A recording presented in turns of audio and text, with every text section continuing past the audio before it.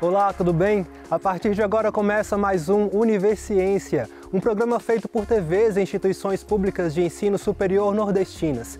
Aqui a gente mostra a importância das produções científicas do Nordeste e como as pesquisas têm transformado a vida das pessoas. Vamos ver agora o que vai rolar no programa de hoje. Pesquisa da Universidade Federal de Sergipe mostra como a população de primatas são mais preservadas dentro de áreas indígenas. No Instituto Federal Baiano, em Guanambi, a união entre a iniciativa privada e a pública está produzindo uma tecnologia inovadora na produção de chocolate. Já ouviu falar sobre exoplaneta? Nesta edição, você vai ver um exemplar que acaba de ser descoberto por uma equipe internacional de pesquisadores, com a colaboração de cientistas da Universidade Federal do Rio Grande do Norte.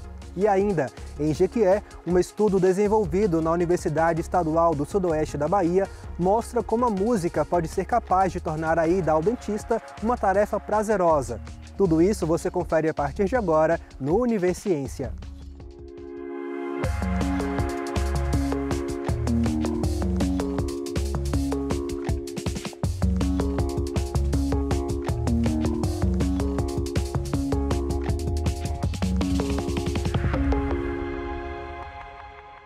A população de macacos vem diminuindo nas florestas brasileiras e a maior causa disso tem sido o desmatamento. Preocupados com esse fenômeno, pesquisadores da Universidade Federal de Sergipe se uniram a 25 instituições em 13 países para descobrir a importância da contribuição dos territórios indígenas na preservação da biodiversidade, em especial das espécies de primatas.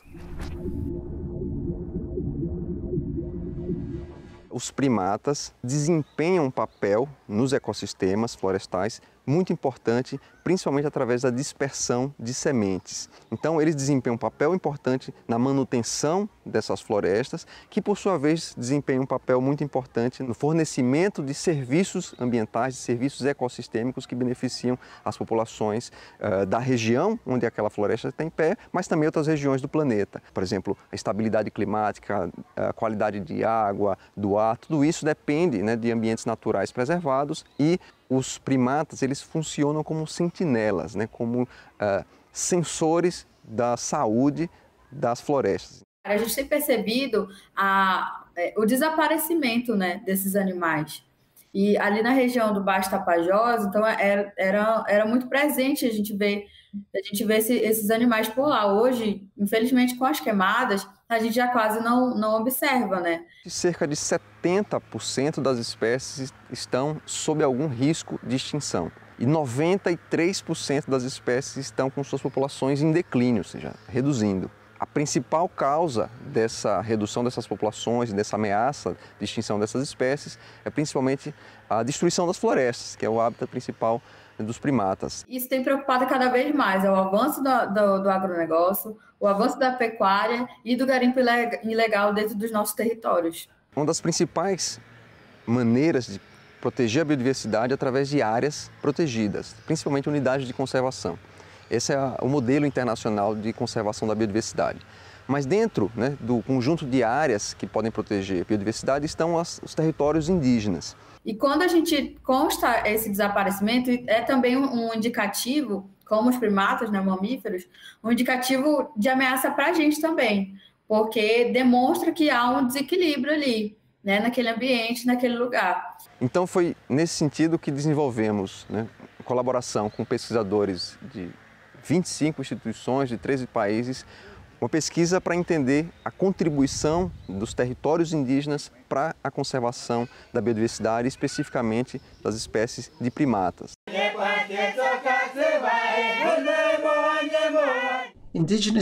Povos indígenas adquiriram ao longo de centenas e, em alguns casos, milhares de anos, conhecimentos que os possibilitam tirar proveito da resiliência do ecossistema em que vivem para promover biodiversidade e viver de forma sustentável. Precisamos aprender e respeitar os conhecimentos deles. E não podemos permitir que suas terras e recursos sejam confiscados e sobreexplorados. Dentro da área de distribuição desses animais ao longo do planeta inteiro, é, onde existem ter territórios indígenas, é, eles contemplam, essas áreas contemplam aí 70% aproximadamente das espécies. Se a gente comparar a diversidade de primatas dentro de áreas indígenas com outras áreas do planeta, ele sempre tem uma diversidade maior. Então, ele, é, os territórios indígenas, além de proteger as populações indígenas, a cultura, que inclusive é, contribui enormemente para a diversidade cultural humana, né? então, além de proteger a, a cultura, a língua, as tradições, as pessoas, os povos indígenas, ela também contribui com a conservação da biodiversidade, e nesse caso ilustrada né, pelas, pelas populações de primatas. Então, o que precisa uh, ser feito é expandir a área de terras não indígenas que contém população primata e que são reconhecidas formalmente como áreas protegidas. Elas podem ser parques nacionais ou reservas naturais. Então, governos nacionais precisam dedicar recursos para proteger essas áreas e investir em programas de silvicultura de larga escala para restaurar o ecossistema natural dessas terras. Senão, essas terras vão ser sobreexploradas e fragmentadas, até que essas populações de primatas que habitam essas áreas se tornem extintas.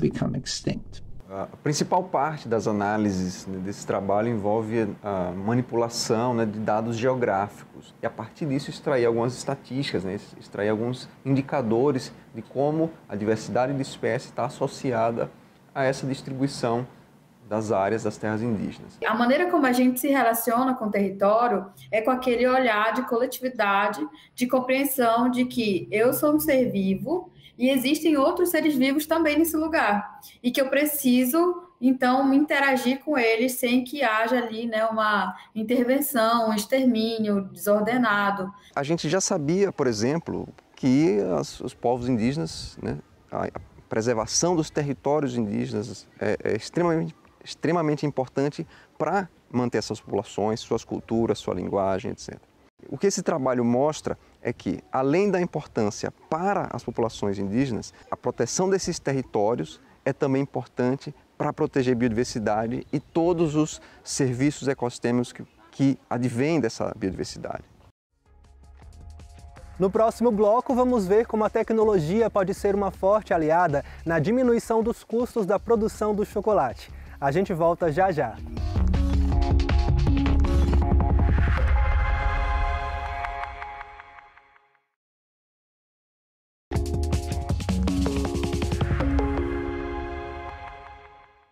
Produzir um bom chocolate exige técnica, uma cuidadosa seleção das amêndoas, atenção e cuidado no processo e um item essencial, a tecnologia. Pensando em baratear os custos do maquinário para pequenos produtores sem modificar a qualidade do produto final, pesquisadores do Instituto Federal Baiano dos Campi de Guanambi e Uruçuca se uniram à iniciativa privada para produzir uma máquina que substitui o trabalho de três equipamentos. O produto já vem sendo testado e promete agregar renda para a região cacaueira do sul e sudoeste baianas. Então esse desenvolvimento ele está acontecendo uma pesquisa em rede, é interessante destacar, com a participação de vários territórios, é, principalmente o território do sertão produtivo, aqui de Guanambi, né, o território litoral sul baiano, do campus Uruçuca, né, isso destacando o IF baiano, e temos também o território do Alto Sertão Produtivo, lá de Nossa Senhora da Glória, em Sergipe. Então, são duas instituições desenvolvendo uma máquina em parceria com a iniciativa privada. O objetivo dessa máquina é produzir o chocolate é, em uma máquina apenas a gente substituir três etapas. Né? A gente tem a etapa de mistura dos ingredientes, formulação, tem a etapa de refino e a etapa de conchagem. Então, ao invés de usar três equipamentos, a proposta é apenas em um equipamento a gente realizar o processamento do chocolate. Essa máquina ela está em desenvolvimento. Né? Ela foi iniciada pela por um, um, produtor de cacau, né? Ele também tem uma, uma, uma indústria, uma pequena indústria de, de, máquinas e a gente vem aperfeiçoando essa máquina junto com ele. A ideia é a gente agregar valor a um, uma matéria-prima, né? A matéria-prima principal do nosso território litoral sul baiano. Então a ideia é a gente fazer uma máquina que produza uma quantidade é, que atenda a agricultura familiar. Né? Então a gente quer que o produtor, o pequeno produtor da agricultura familiar, ali das comunidades, né? quilombolas, de assentamentos, né? da reforma agrária, a gente quer que essas comunidades elas produzam chocolate. Então, para produzir chocolate, a gente precisa de uma tecnologia acessível. E aí que está a, a, importância dessa máquina. Né? Então, a gente precisa trazer é, tecnologia para implantar nela. Então, a gente precisa de apoio de engenheiros de alimentos. E aí a gente destaca aqui no IF Baiano Campus Guanambi o professor Lucas Landim, com professora Normani, que vai desenvolver trabalhos, já está sendo estruturado isso, onde nós vamos agregar frutas do bioma caatinga no chocolate. Aqui é uma amêndoa né, do fruto do xixá, que ele é encontrado tanto na caatinga quanto na floresta amazônica. E ele é uma fruta que não é bastante conhecida né, pela população, mas que ela contém características nutricionais é, muito, muito grande, né? Várias características nutricionais. A princípio, estávamos pensando em fazer a farinha, né? Da, tanto da casca do xixá quanto da amêndoa. Por, por, conta da amêndoa ter características de um sabor doce, essa farinha feita a partir da amêndoa, ela substituiria o alto, o alto, a alta quantidade de açúcar que é adicionado no chocolate. Então, reduziria o açúcar colocado e adicionar a farinha da amêndoa do xixá.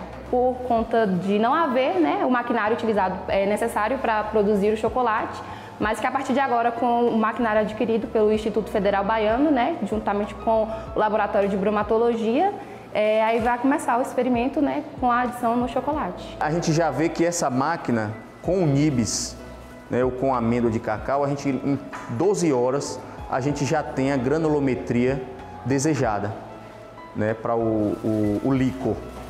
Quando a gente entra com açúcar, você já tem partículas maiores. Isso leva o chocolate para um refino em 24 horas.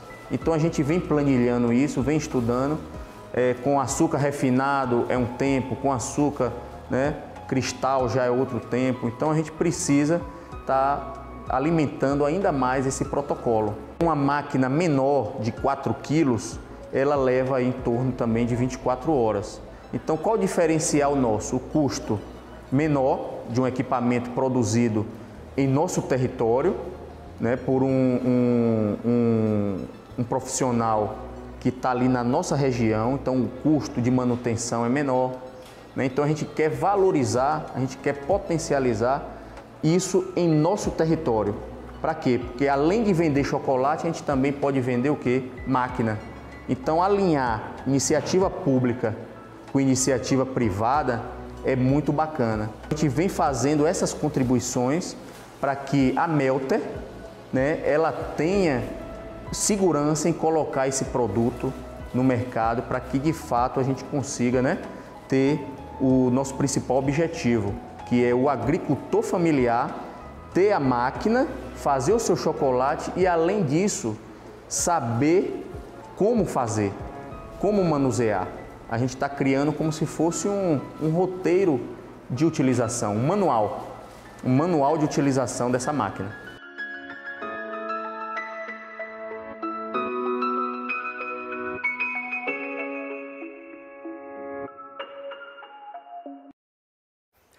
Agora vamos falar sobre um assunto que desperta algumas das nossas maiores curiosidades: o universo e seus planetas. Recentemente, uma equipe internacional de pesquisadores, com a colaboração de cientistas da Universidade Federal do Rio Grande do Norte, descobriu um planeta coberto de água.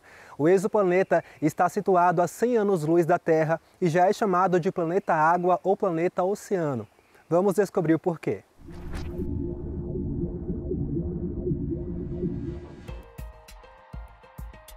Um corpo celeste um pouco maior que a Terra e com uma localização em relação à estrela que orbita, ideal para a existência de água líquida em sua superfície. A recente descoberta da astronomia pode ser um planeta oceânico, completamente coberto por uma espessa camada de água. da astronomia aconteceram algumas revoluções, não foram muitas, do jeito que tem as revoluções tecnológicas, existe a revolução do conhecimento em astronomia, o conhecimento do cosmos. Né? Nós tivemos a revolução industrial, por exemplo, a revolução tecnológica, a revolução dos computadores. Né? Na astronomia, o processo foi parecido porque a gente sabia exatamente que eram pontos onde o conhecimento estava mudando por completo. Por exemplo, o modelo onde o Sol seria o centro do nosso universo próximo era uma das revoluções. Né? Então, nós temos aí, hoje, a existência dos novos planetas. Esses planetas estão orbitando estrelas que estão muito longe, longe do nosso Sol, né, que é outra estrela.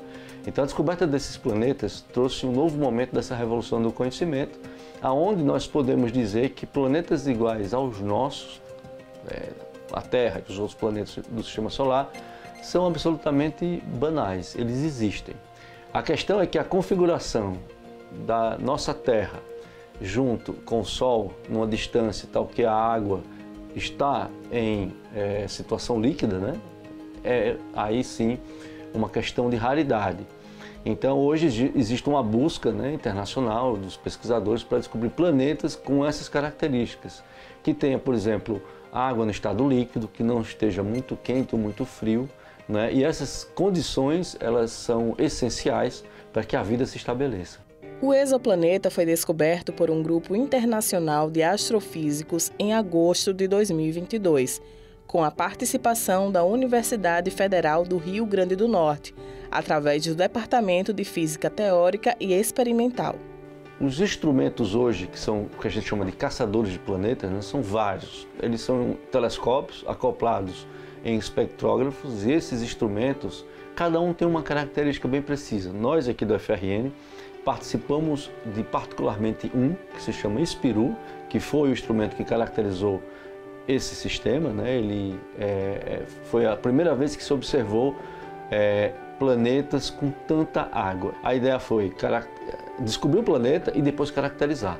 O Espiru está localizado é, no Havaí, né, exatamente no, no Mauna Kea, no telescópio chamado CFHT, que é um telescópio que o Brasil tem acesso a partir dos nossos projetos, né? E a UFRN e a UFMG, UFMG e o Laboratório Nacional são as instituições parceiras no Brasil. Por outras vezes chamado de mundo da água, o planeta é considerado um dos alvos principais para a caracterização atmosférica futura. O sistema está localizado próximo de uma zona de observação contínua, o que significa que pode ser seguido em praticamente qualquer momento do ano. É, porque esse planeta é um planeta oceano, ele vem aí, né, esse planeta vem numa direção de colocar um ponto fundamental no entendimento de como os planetas se formam e como a água veio parar dentro do nosso planeta. Se olha para o planeta Terra, é, a característica da Terra é a seguinte: a quantidade de água da Terra com relação ao próprio planeta é menos de 1%. Isso quer dizer o seguinte: quando a gente divide a, a casca da Terra, que é oceânica, não é? pela quantidade de massa, dá menos de 1%. Ou seja, a Terra é como uma laranja e a casca da laranja é o oceano. No planeta que nós estamos falando agora, dá 30%. Isso é muita água. Isso também revoluciona um pouco o entendimento sobre o surgimento dos planetas. A gente achava que toda água que aparece no planeta ou teria caído na forma de cometas ou alguma parte veio de quando a Terra foi formada. Mas um planeta com tanta água, não dá para cair tanto planeta, ou desculpe, tanto cometa. Então a gente fica assim, olha, talvez essas teorias de como a água surgiu na Terra tenha que ser revista. Mas a descoberta de vida, ela segue uma quantidade de passos iniciais. A primeira coisa é detectar aonde você quer buscar vida fora da Terra. Né? Então você encontrou um planeta parecido, você encontrou água e aí você, esse é um dos alvos que a humanidade vai escolher para jogar ali é, a esperança de ter vida. Então, esse planeta, ele automaticamente entrou no catálogo daqueles que as pessoas vão tentar buscar vida de fato. Você tem medo de ir ao dentista? Então não perca o próximo bloco do Universiência, que traz uma pesquisa sobre como a música pode aliviar os traumas de quem foge desse profissional. É logo depois do intervalo.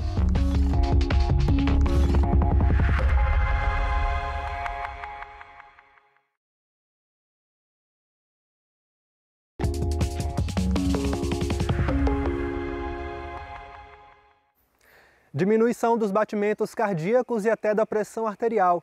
Esses são alguns dos efeitos produzidos pela música.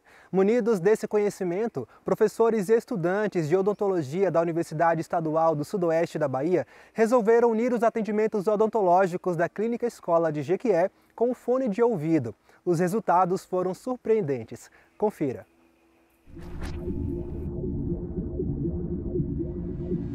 O título da nossa pesquisa é a influência da musicoterapia frente ao atendimento odontológico de crianças e adolescentes. E é justamente o objetivo dela é medir né, os níveis de ansiedade, de que forma essa musicoterapia ela vai influenciar né, nos níveis de ansiedade do paciente, na redução do medo e fazer com que facilite tanto para o operador né, quanto também promover a saúde é, do paciente. A nossa pesquisa é baseada em três momentos.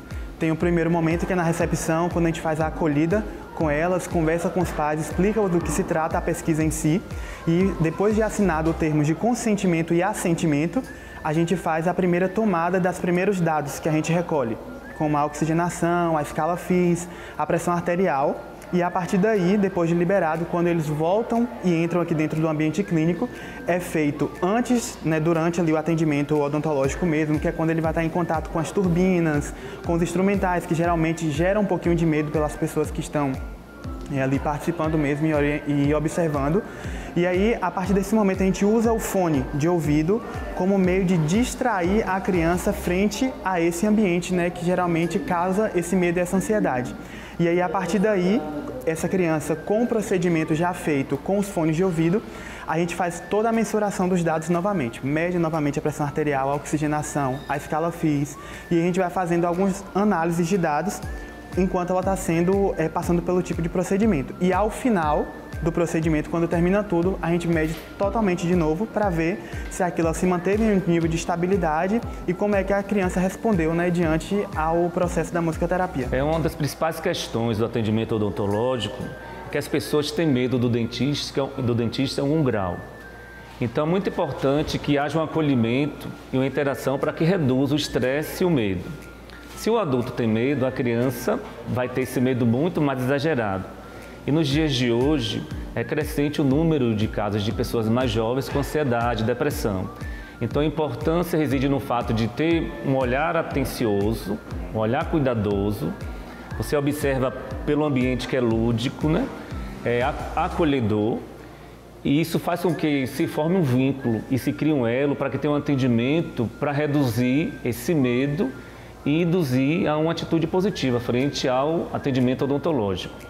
Então, as crianças podem chegar até. Um dos grandes desafios da odontopediatria é: a criança pode até chegar chorando, mas se ela sair chorando, tudo que nós fizemos foi um fracasso e nós caminhamos para o sucesso.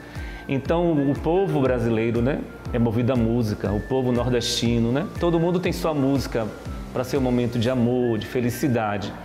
E aí, com esse projeto, nós incorporamos algo que é do dia a dia para que a criança ouça a música e ela consiga lidar melhor com toda essa situação odontológica que é estressante, com cheiros muito diferentes, com barulho, com instrumentais que podem ser aversivos. E aí pode ser uma prática para qualquer pessoa. Então, quando nós transformamos em pesquisa, que trabalhamos também junto com o projeto de extensão das práticas integrativas, que tem musicoterapia, isso pode ser utilizado por qualquer profissional em seu consultório, em clínicas ampliadas, para que a música seja como um instrumento de promover tranquilidade, calmaria. Até o momento a gente já fez uma pesquisa, como você disse, está em andamento, nós já fizemos 28 pessoas. E é possível perceber que de fato há uma, uma, mudança significante, é tanto que logo no início tinha alguns próprios alunos que sentiam um pouco assim, ah, vai atrapalhar um pouco o procedimento, é aquela coisa toda, né? E depois que faz o processo mesmo da musicoterapia com eles, a gente vê uma redução drástica, assim, do número. Na recepção, por exemplo, a gente chega, as crianças estão com nível de pressão arterial um pouco mais elevada. A oxigenação e os batimentos cardíacos estão um pouco mais caídos. E depois que passa pela musicoterapia, vamos dizer que 95% respondem super bem, tipo diminuindo os batimentos cardíacos dentro de um nível de estabilidade esperado, né, para a idade faixa etária deles também. A pressão arterial também se mantém um nível de estabilidade a partir do processo que ela se insere dentro da musicoterapia e também o nível de aceitação tanto da criança quanto dos próprios operadores, né, que são os outros estudantes, também melhoram significativamente. O projeto inicialmente era com música clássica. Acho que era a Sinfonia em Lá Maior, de Beethoven, se eu não estiver enganado. Só que a música clássica é uma realidade um tanto distante. E nós percebemos também, eu tenho pacientes que ficam calmos com rock and roll. Eu tenho, tem gente que gosta de sofrência. Então nós damos a opção de a criança escolher a música que ela quer. E aí, se ela já escolhe a música, normalmente ela já conhece, já tem uma afinidade, então vai, vai propiciar um rendimento melhor. Se ela não tiver opção, nós escolhemos, se ela não disser o que quer, nós escolhemos uma música infantil, uma música calma, para que a criança é, fique mais tranquila quem puder, tipo, não só da musicoterapia, mas também de outra, todas as outras práticas integrativas, que são práticas que vão auxiliar nesse tratamento convencional, né, que a gente já realiza, é de suma importância, porque vai, de fato, é, facilitar muito a nossa vida enquanto operadores e vai promover saúde, que é o principal, visando aí o processo né, de obtenção de saúde do paciente. A gente sabe quando a gente lida com medo, com ansiedade, tudo dificulta muito. Então aqui a gente vê casos, por exemplo, de crianças que já vieram, que têm um certo problema com toda essa questão mesmo instrumental, com a zoada, com é, o próprio dentista em si. E depois que eles voltam, depois que fazem o processo de musicoterapia, eles já voltam mais tranquilos, sabendo que, tipo, aquilo não vai acontecer novamente, né? Aquelas coisas que geralmente geram medo e ansiedade. Então, de fato, é um, um, processo muito legal que deveria ser incrementado em todas as universidades possíveis e todos os estudantes e profissionais que pudessem é, inserir dentro das suas rotinas seria de extremamente extrema importância.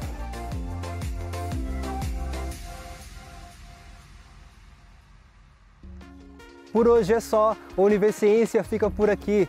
No próximo programa traremos mais pesquisas inovadoras para a gente conhecer o que tem sido produzido nas instituições públicas de ensino superior nordestinas.